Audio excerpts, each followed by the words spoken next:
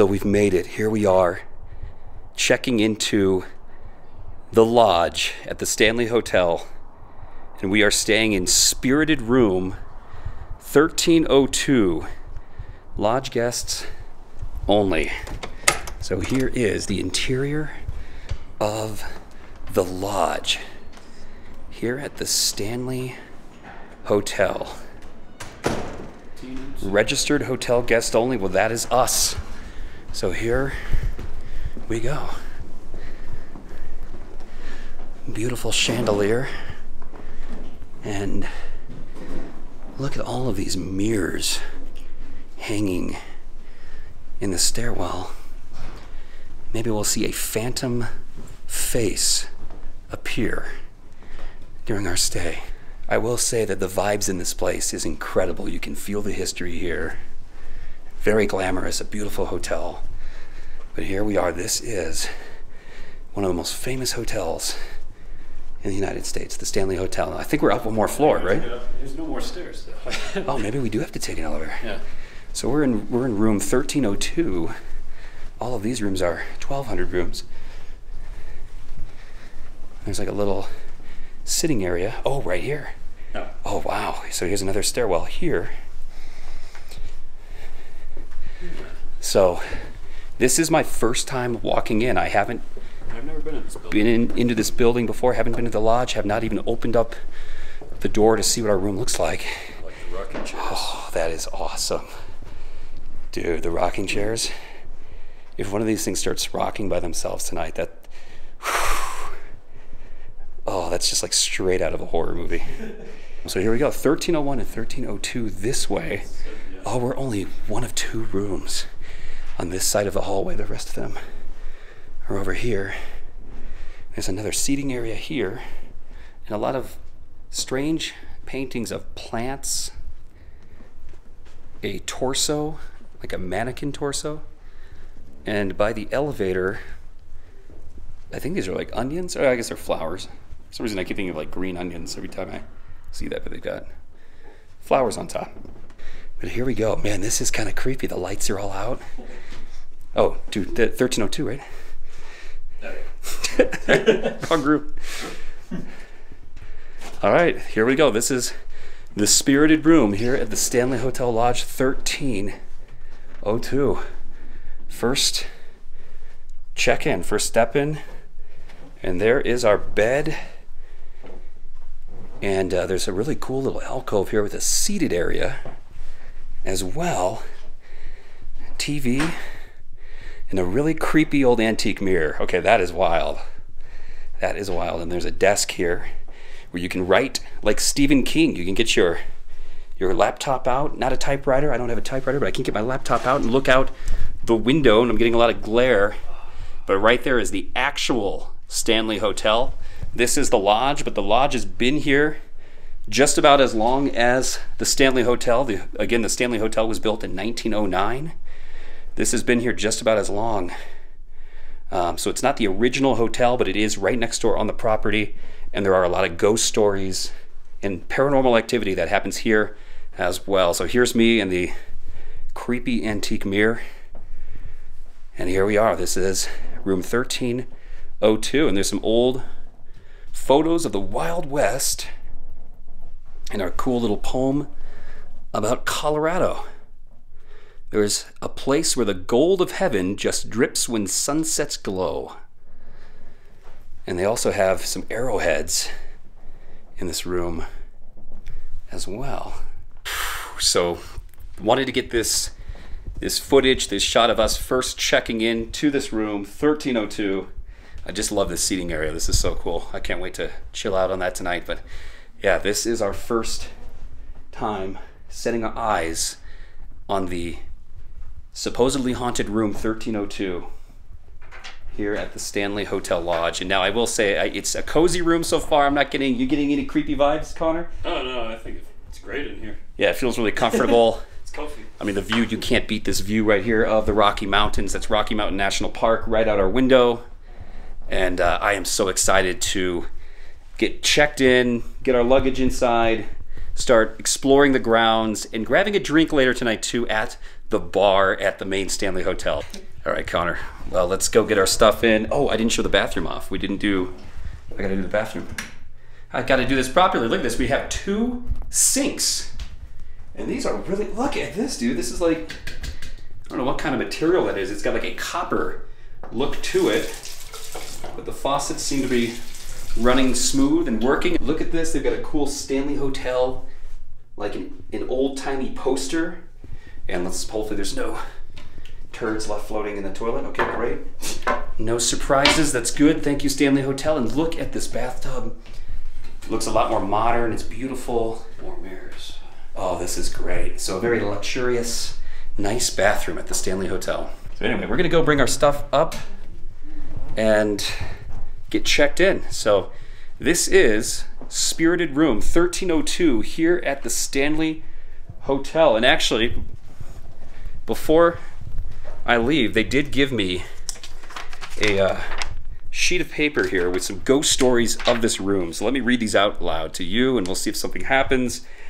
So, room 1302, a male ghost has been seen as a shadow in this room, walking near the walls, because that's what shadows do. Uh, photos have been known to fly off the walls, so maybe these will fly off the walls today or tonight. I don't know. And Grant from Ghost Hunters had a table levitate while changing film. Why, why does this always happen when people change film? But anyway, if it's a table, it could have been this table. Maybe it levitated. I don't know. But uh, the um, front deskman said that there is also a ghost dog that is known to haunt the lodge. So maybe we'll see a ghost dog. Maybe we'll see the shadow figure. Connor, what do you think? Where is the ghost dog? Is it supposed to be in this room or the whole lodge? He just said there's a ghost dog in the lodge, so I have no idea. But anyway, I wonder what it's. we're gonna start bringing our luggage up. If anything happens, you'll see it here. I'm not gonna hopefully miss anything, but we'll see. Maybe we'll get the ghost dog. Maybe we'll get a shadow figure. Are you excited for this, Connor? Oh yeah. Been waiting a long time for We are this. pumped. We have always wanted to stay here at the Stanley. So anyway, stay tuned. So we were just about ready to leave, and I thought I had a runny nose just now, and it turns out that I've got a bit of a graphic warning, a bit of a bloody nose right here. I my nose is bleeding slightly, not terrible, but it is kind of weird when you think of the Stanley Hotel, the movie The Shining, red rum. Well, I've just I've got some red rum now here in the room, room 1302. So yeah, I think, you know, could be the dry mountain air. I don't know, but just had a bit of a bloody nose, something that I don't get very often here in room 1302. Coincidence? I don't know. Hold up, Connor, what did you just say? I swear, I just put my hoodie on. Felt like a little cold pocket here is walking. Dude, are you sure it's not just the open window? Weird chill. No, the window. You mean it, what, I all, I went all static, like all electrical. Are you serious? Yeah, no, that was interesting. Dude, this is okay. I don't feel anything. Let it sit for a little bit, and now I don't feel it. Interesting. All right. Things are starting to maybe wake up here. In the Stanley Hotel. All right, I've never, and you're usually kind of skeptical, so I've never seen you yeah, no, was riled up like this very often. It's right where you had the table, Well, so one of the things on that paper said that Ghost Hunters, that TV show or whatever, I'm, I, I'm more of a Ghost Adventures fan. I never really got into Ghost Hunters, but they claimed that they saw a table levitate in this room. And yes, that is a axe, plastic axe prop that I got at a horror shop in Littleton, Colorado. You know, going with the Shining theme, Jack Nicholson going insane, trying to axe his family. But really, dude, you look a little shaken up. Oh, that was weird. I will say that was weird. Huh. So you're sure it wasn't because the window was open? I don't think so. Interesting. Dude, that's interesting. All right, so things are starting to maybe wake up here in room 1302. I just had a bit of a bloody nose, and then I was in the bathroom kind of stopping the bleeding and threw away some tissues. And then, Connor, you got a little got a little energy here, a little riled up. Yeah, things might be happening here. Interesting. All right. So we've uh, we've stayed at a lot of other haunted hotels or supposedly haunted places in the United States. And So far, we've never ever had anything happen in a hotel. Uh, so if something does happen here, this will go down as the most haunted hotel that we've stayed at. But so far, you know, we'll see what happens. But the sun is setting, so we're going to go to the main building, sign up for a night tour, here at the Stanley Hotel and grab some food. And uh, we'll be back in a little bit. But maybe after the sun goes down, things might start to wake up here. I don't know. We'll find out.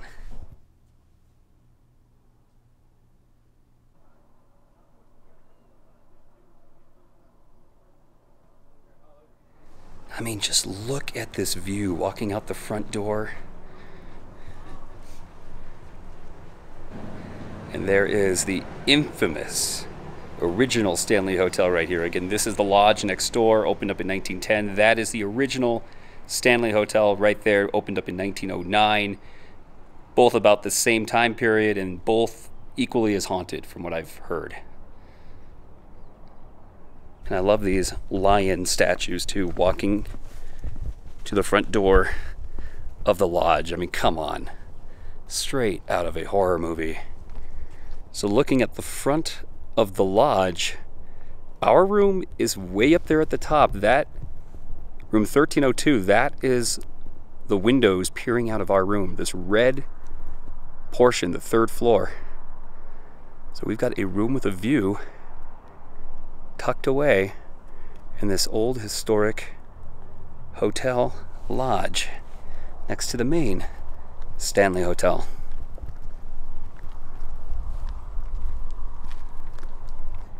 Not sure what's going on, but this woman's dressed up like Jack Nicholson. Or no, he's dre- she's dressed up like like his character's wife. Who's the who was his wife in the movie? No, I don't I can't remember either. Anyway, in a while.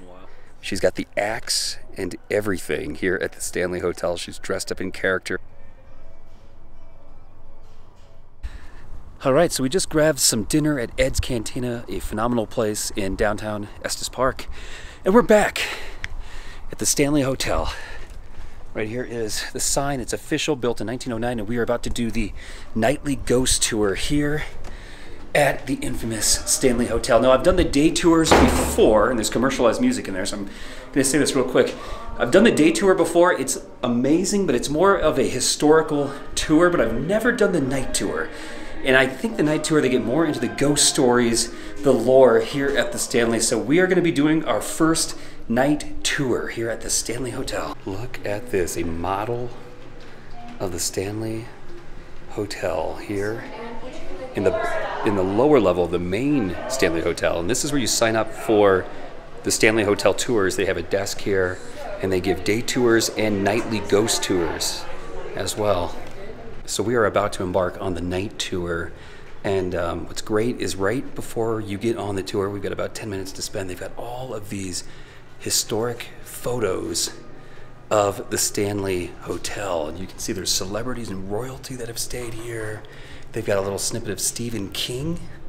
Of course, he stayed here back in the 1970s, and this hotel inspired him to write The Shining. So a lot of people think the movie was actually filmed here. The movie was not filmed at this destination. It was mainly filmed on a soundstage in England, and the exterior shots were a different hotel in Oregon. But this is the actual hotel that Stephen King stayed at and inspired him to write the novel The Shining. And of course, we're talking movies that weren't filmed here. The Shining. One movie that was filmed here was Dumb and Dumber. So look at that. Scenes in Dumb and Dumber, the famous orange and blue suits in the movie worn by Jim Carrey and Jeff Daniels. And that is that scene there was filmed in the bar upstairs here at the Stanley Hotel, which I will take you to after this night tour. But just incredible to see all of the history and pop culture that they have right outside the tour meeting place.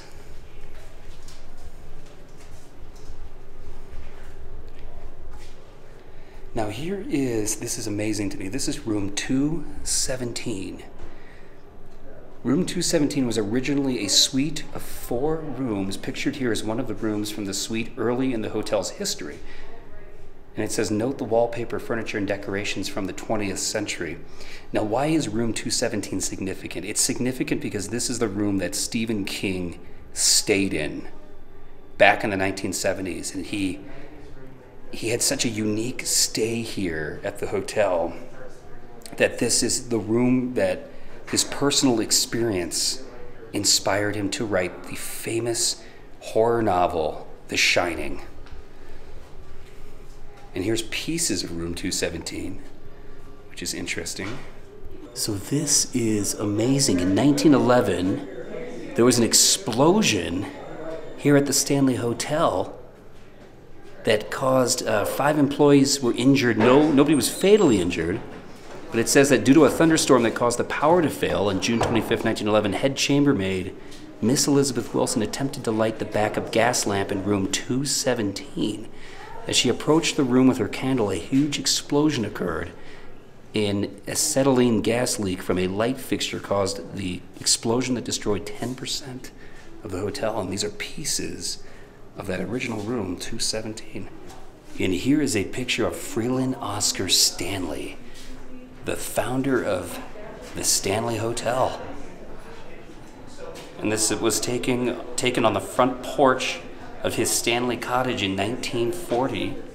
Also, gotta love the typewriter, a little nod to horror writer Stephen King.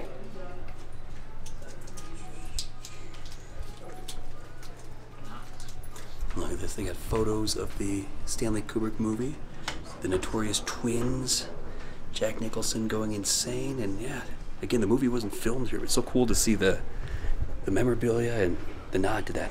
So this is the concert hall on the Stanley Hotel premises. Beautiful architecture. So this concert hall here also opened in 1909 same year as the actual original Stanley Hotel. And this is a rare Tiffany chandelier up there on the ceiling as well. So just gorgeous. Love the little stage. We are moving on. And uh, yeah, if anything happens, you'll see it here. We are headed down to the basement. Maybe I can edit this later, but right now we are in the green room, and this is supposed to be one of the more active areas on the Stanley Hotel campus. We're actually right underneath the stage, and uh, there's a ghost named Paul, an old um, groundskeeper that apparently died of a heart attack on the stairwell right outside the window in here. But uh, yeah, it's very dark. Uh, maybe I can edit this and get the light in there earlier, but that's supposed to be one of the more paranormal rooms here in the Stanley, well, on the Stanley Hotel campus. All right, well, here is part of the underground tunnel system that leads from the concert hall to the main Stanley Hotel. It's not really a good way to get through there. A lot of PVC pipe, water pipes. Just to kind of give you an idea, this is what the tunnel looks like. That goes pretty, Connect all the buildings. pretty far back. Yeah, Jim and I were just talking about this. If the tunnels connected. So we're still in the basement of the concert hall. That was another guest dressing room where they, apparently a squatter back in the 80s that used to stay down here uh, was found frozen to death. Um, so her ghost, apparently, they've caught it on camera and pictures, and supposedly this, this spirit roams the basement of the concert hall. So some, some crazy pictures that we, the tour guide showed us. Um, yeah, I don't know. We'll see. Maybe I'll catch something. Maybe I won't. But uh, some very intriguing I'm not going to call it evidence, but just intriguing photos that we've seen of just. That last one was really weird. Hard to explain. They both were kind of crazy. Some like ghoulish looking girl, kind of like straight out of the movie The Ring, where you, her face is all weird, but they caught them in the background of photos here in this basement. Play with us. Play with us. Play with us. Here's Johnny.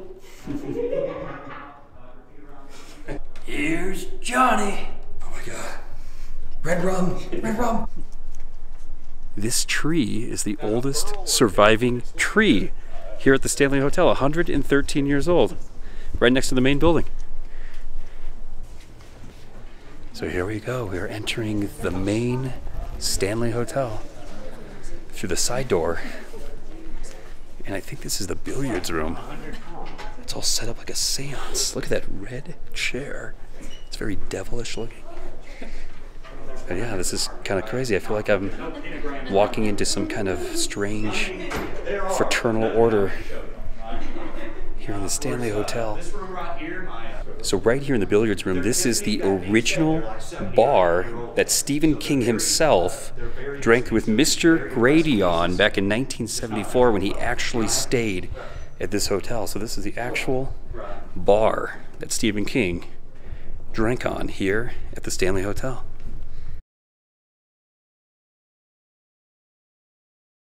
$170 a piece, not terrible. Or. That is amazing. So this is actually a hidden whiskey. What do you call this? A bar? Yeah, just a little whiskey, hidden whiskey bar. Like a little hidden whiskey bar. We got another one over there. It's disguised as a uh, globe. I need one of those. Kind of almost looks like a Weber grill, but yeah, that's a hidden whiskey bar. These globes that are that are situated throughout the hotel, right? That's amazing. So just walking out of the billiard room, this is the main lobby of the Stanley Hotel. Look at this elevator. This old elevator. Now, if you are a fan of The Shining, I just I can only imagine the door opening up in blood just pouring out like in the movie. Oh.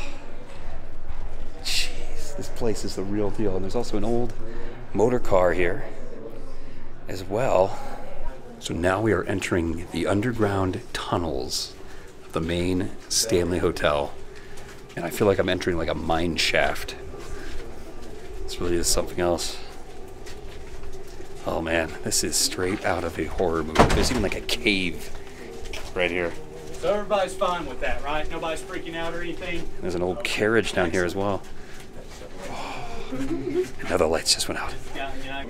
So apparently, in the tunnels here, there was a chef back in the 1940s who was crushed to death by a, one of the rocks that got broke loose, slid onto him, and crushed him here in the tunnels below the Stanley Hotel. So that is one recorded death they do have here on campus. So there's been a lot of really creepy pictures of like I I can't even explain like weird looking golem looking spirit things like right here behind this carriage. So this seems to be a very active place in the tunnels here below the Stanley Hotel. Um, yeah, the tour guide was showing these photos off, and they were pretty creepy. A lot of them were taken right here in front of this wooden post, uh, particularly of that squatter spirit named Lucy, who just pictures were creepy as hell. And then there was also like a weird Gollum, like you know, Lord of the Rings, like some creature that looked like Gollum, taken over here too. So who really knows? Yeah, it's crazy stuff here in the tunnels below the Stanley Hotel.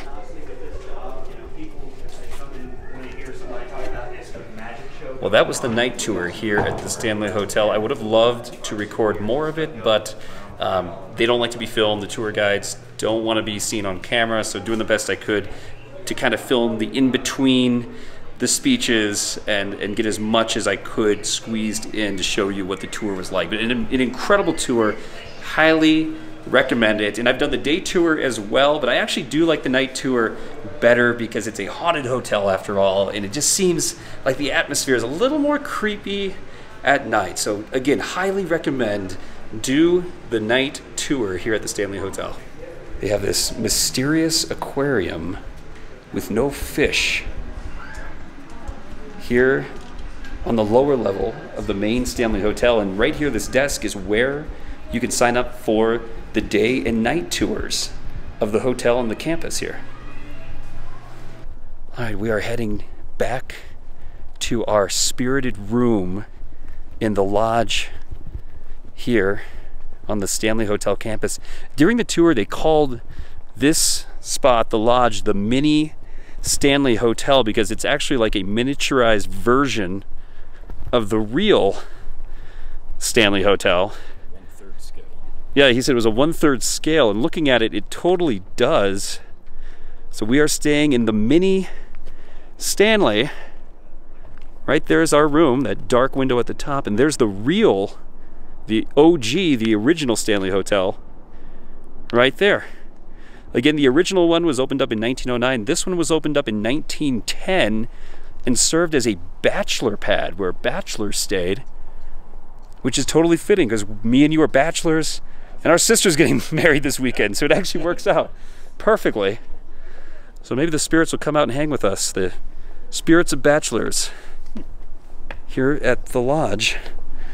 But uh, yeah, we're going to go back and see if anything has changed in our hotel room. See if things have been moved around. So we're going to take the stairs back up to room 1302. And these windows are open now, which actually feels really nice because it's cool mountain air outside. The temperature dropped from like 75 degrees earlier to definitely in the 50s now. But uh, here we go. We're going up the steps here inside the lodge. I wanted to point out earlier, I love these lamps where the pedestals are old water pumps. Isn't that cool? And they've got these all over the lodge. I thought it would be so cool. What if you could turn the lamp on by pumping it up and down? That would like turn the light, the lamp on and off. But no, they've got they've got just normal switches. That would have been awesome if you could do that. All right, we're gonna head back upstairs. See if our stuff has been moved around by the spirits. Here's those creepy rocking chairs. And actually, to be honest, I I've never been on the other side of this floor. There's a another old mirror.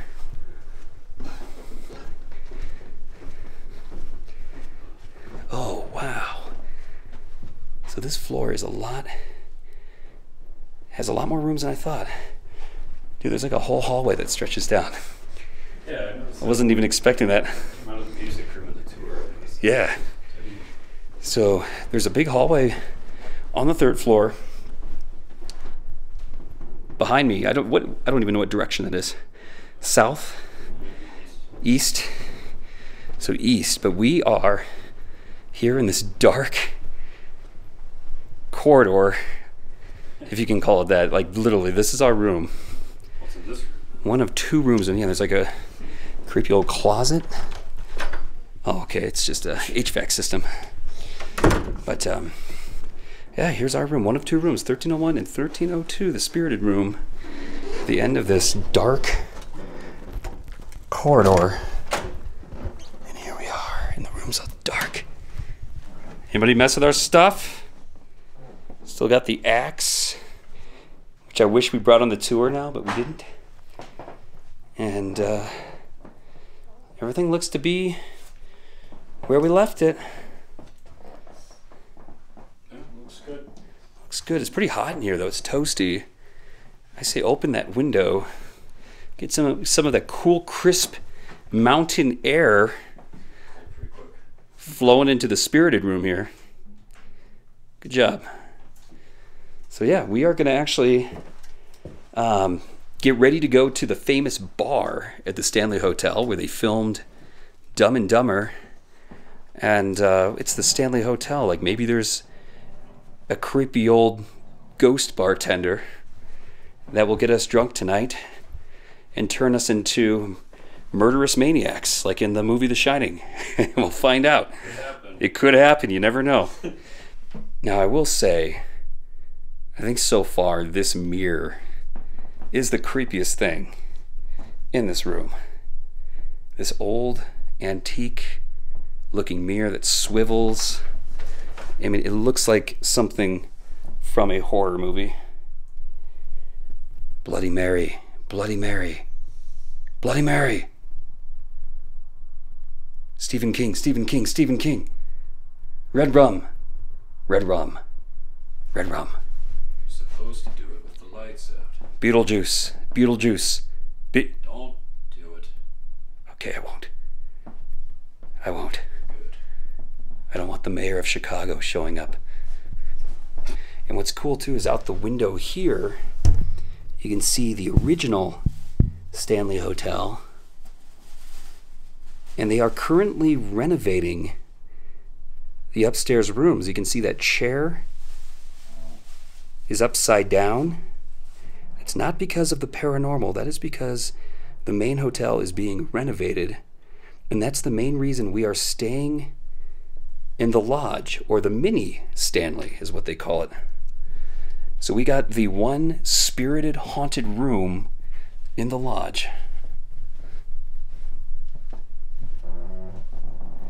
That was the floor creaking, that wasn't me.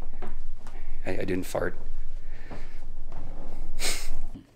You know, I say we go check out that bar, the famous one, at the main Stanley Hotel.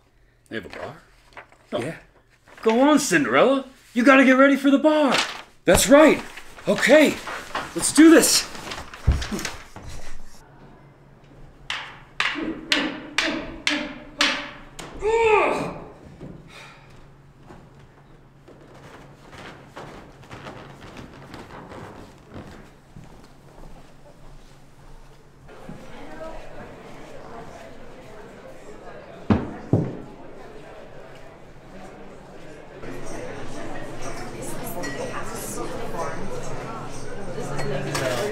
But it's it's legendary.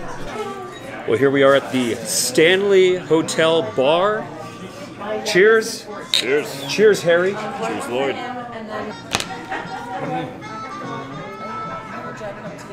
Oh, this is fantastic. An old fashioned with Breckenridge whiskey.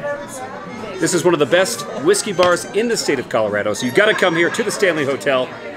And Mr. Grady may or may not be bartending. That's our secret. Here we are at the famous bar at the Stanley Hotel.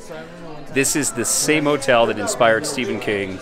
And keeping my eyes peeled for Mr. Grady, the bartender from The Shining that previously murdered his family and was trying to persuade Jack Nicholson's character to murder his own family, and that Jack Torrance was his character's name, to murder his son Danny and wife Wendy. So, so far, no Mr. Grady, but keeping my eyes peeled. There, this guy looks a little suspicious. There is another bartender here, but either way, the spirits are incredible. So enjoying this old fashioned here at one of the greatest bars in the USA, the bar at the Stanley Hotel. Well, Harry, cheers to another good night here at the Stanley Hotel, the grandest hotel in the world.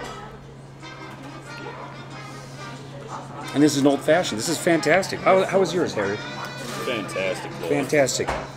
The best bar in Colorado here at the Stanley Hotel. And uh, last time I heard, uh, is Mr. Grady bartending? I don't know. It Doesn't matter. It Doesn't matter. Cheers to everyone.